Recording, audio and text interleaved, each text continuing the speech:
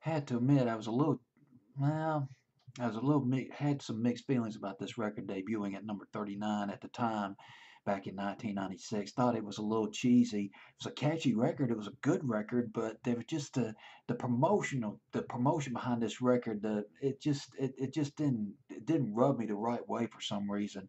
Although now looking back on it, great cross between the Zombies and the Beatles, the early British invasion. This record, The Wonders, that thing you do. Maybe it was just that the title of it, that thing you do. It's just so simple and so well, just real catchy, I guess. But debuting at number 39 on my fantasy playlist. October 26, 1996. The Wonders, actually, the Wonders didn't really exist. They were a fictional band. They were in a movie called That Thing You Do. The name of the movie, I believe, was the name, directed by Tom Hanks.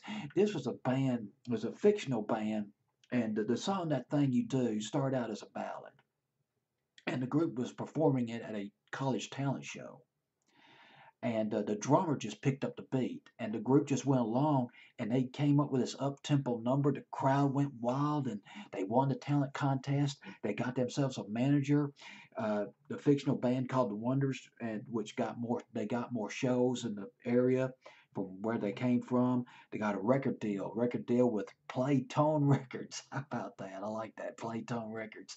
And uh, put out as a single with the number seven on Billboard's Hot 100. That's the fictional part of it. Now, the non fictional part of this. This record was uh, written, it was co written, co produced by a couple of guys Adam Schlesinger of Fountains of Wayne, bass player Fountains of Wayne, Fountains Wayne, they had a hit in 1997, alternative hit called Radiation Vibe.